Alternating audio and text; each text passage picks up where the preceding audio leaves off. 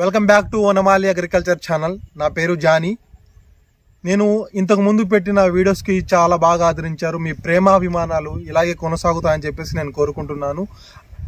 ఈరోజు ఒక మంచి టాపిక్తో మీ ముందుకు వచ్చేసాను రైతు సోదరులారా. అలాగే మనకు అదర్ స్టేట్ నుంచి ఒక పార్సల్ అయితే వచ్చింది. ఈ పార్సల్లో ఏముందో తెలుసుకుందాము? ఈ పార్సల్ ఏముందో తెలుసుకునే ముందు మనం టాపిక్ గురించి మాట్లాడుకుందాము.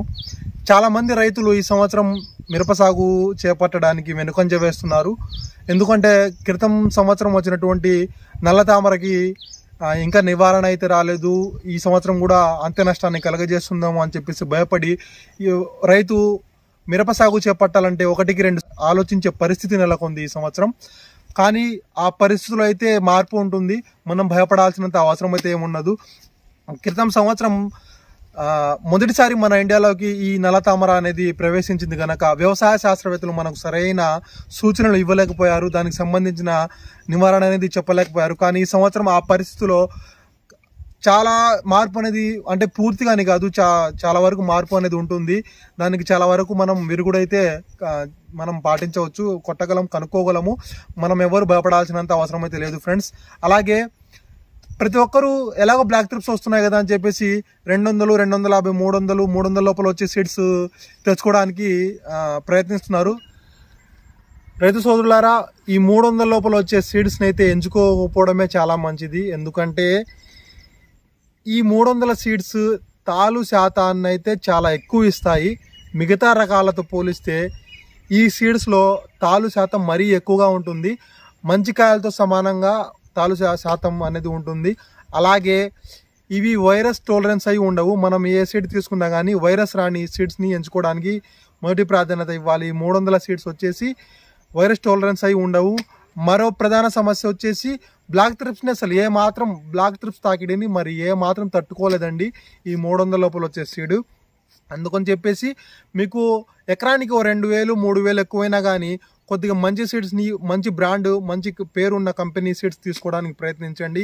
అలాగే మీ ఏరియాలో అంతకుముందు వేసి బాగా దిగుబడినిచ్చిన సీడ్ని అయితే తీసుకోవడానికి ప్రయత్నించండి. అంతేకాని మార్కెట్లోకి వచ్చిన కొత్త సెగ్మెంట్ని కానీ కొత్త సీడ్ని కానీ తీసుకోకపోవడమే చాలా మంచిది. అలాగే మనకు వచ్చిన పార్సల్లో ఏముందో అన్బాక్సింగ్ చేసి తెలుసుకుందాం. రండి. ఇదైతే చాలా కష్టపడి తెప్పించానండి ఈ సీడ్ని ఇందులో ఒక సీడ్స్ ఉన్నాయి. అంతకుముందు నేను వీడియోలో చెప్పాను.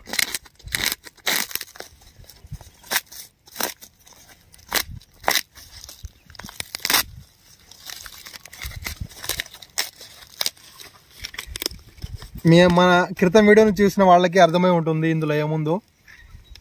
నేనైతే చాలా కష్టపడి తెప్పించాను. మన మన ఆంధ్రలో దొరకకుండా తెలంగాణలో కూడా దొరకలేదండి. అందుకని చెప్పేసి అదర్ స్టేట్ నుంచి తెప్పించాను ఈ సీడ్స్. చూద్దాం.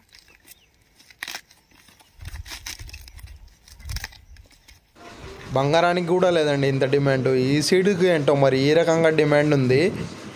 నాకు ప్రాపర్గా పదిహేను రోజులు పట్టిందండి. ఇరవై ప్యాకెట్లు మా ఇంటి దాకా చేరేసరికి నాలుగైదు రోజులు ఉదయం నుంచి సాయంత్రం దాకా అందరికీ ఫోన్లు చేసుకుంటూ కూర్చుంటే ప్రతి ఒక్కరి దగ్గర ఇన్ఫర్మేషన్ గ్యాదర్ చేస్తూ కూర్చుంటే కానీ ఈ సీడ్ ఎక్కడున్నాయో తెలియలేదు. చివరికి ఒడిశాలో ఒక పర్సన్ దగ్గర ఉన్నాయని చెప్పి తెలిసి తన్ని కాంటాక్ట్ చేసి తెప్పించాను.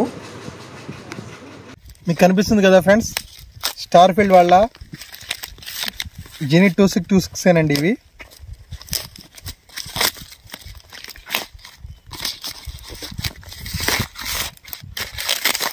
ఇదిగోండి ఫ్రెండ్స్ మనకు వచ్చిన పార్సల్ అయితే ఇది. మామూలు చిక్కాడు మామూలు చచ్చినాం కాడు. వాయిస్ ఓవర్ సమ్యక్లా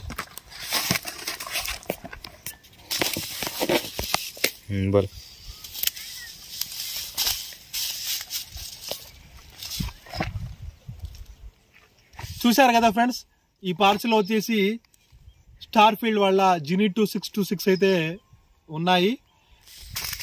ప్యాకెట్ వెయిట్ వచ్చేసరికి పది గ్రాములు ఉంటుంది. ఎంఆర్పి రేటు ఎనిమిది వందల నలభై రూపాయలు. లాట్ నెంబర్ వచ్చేసి మీకు కనిపిస్తుంది కదండి. చివరిలో జీరో వన్ త్రీ వచ్చింది.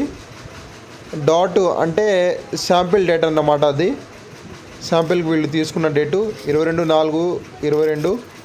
తర్వాత మ్యానుఫ్యాక్చరింగ్ డేటు ఆ తర్వాత వచ్చేసి వ్యాలిడిటీ వ్యాలిడిటీ ఎప్పటికైనా కానీ మ్యానుఫ్యాక్చరింగ్ డేట్ నుంచి ఆరు నెలలు ఉంటుంది. తర్వాత పైన వెరైటీ నెంబర్ జీని టూ సిక్స్ టూ సిక్స్ ఇవన్నీ అంతేనండి. కావాలంటే మీరు చూసుకోండి. వయసు పోతుంది ఇవన్నీ దాదాపు ట్వంటీ ప్యాకెట్స్ దాకా ఉన్నాయి. ఇవన్నీ ట్వంటీ ప్యాకెట్